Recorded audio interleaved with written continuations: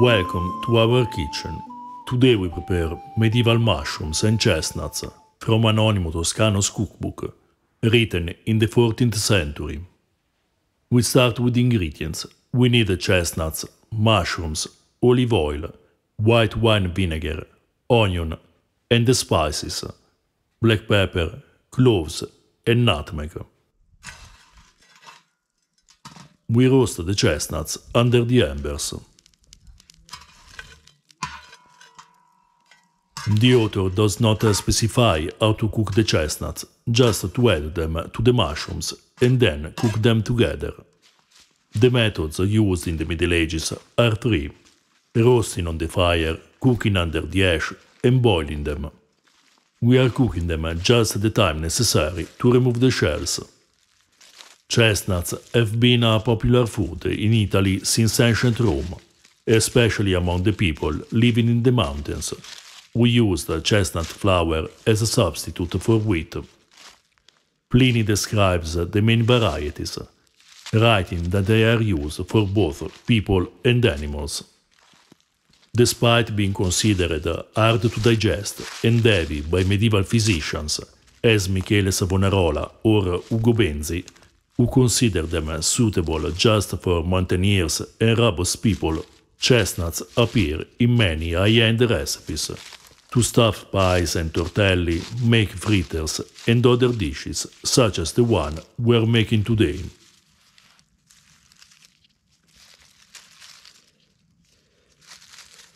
If you want to know more about chestnuts in historical cooking and dietetics, check out our Patreon page, in which you find articles and translations of ancient and medieval sources. Meanwhile, we grind the spices in the mortar and mince half an onion. The author doesn't specify which spices to use for this recipe. In addition to the ones we chose, you may use ginger, grains of paradise, cinnamon, cardamom, or others. We chose the lean version of this recipe, but to prepare the fat version, use lardo instead of olive oil. You may serve this dish with mustard made with cooked mustard and pork cooked as you want, as the author writes. The recipe for mustard is explained below in the text of Anonimo Toscano. Mince the radish and cook it with anise and fennel seeds in grape mustard, cooking until it reduces by half. Then mix this liquid with mustard made with strong vinegar and anise and fennel seeds. Then we simmer the mushrooms.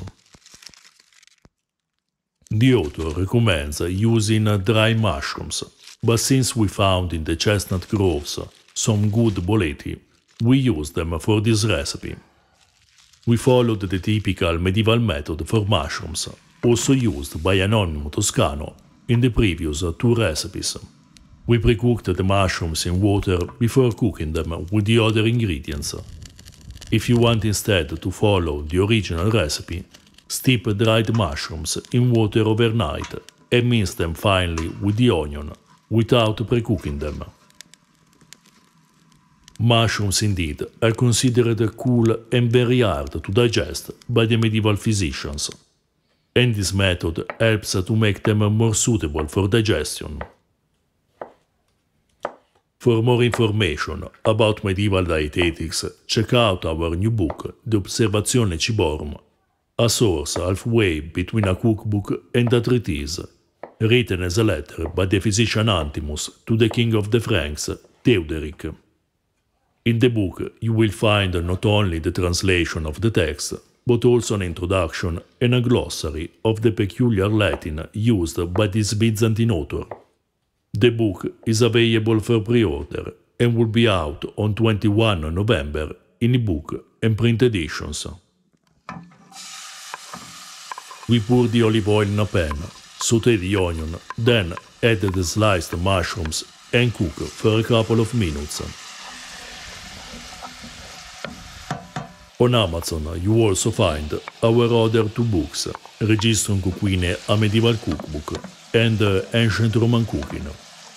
To support our work, you can also buy us a beer or purchase our merchandise. You find all the links in the description below.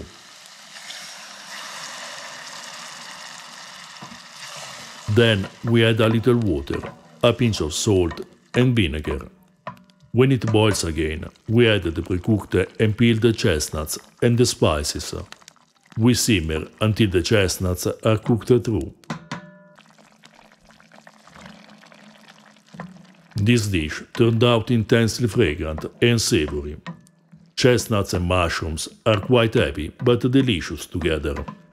The sweetness of chestnuts is perfect with the flavor of mushrooms that recalls moss and woods, making a great pairing for these cool days of autumn.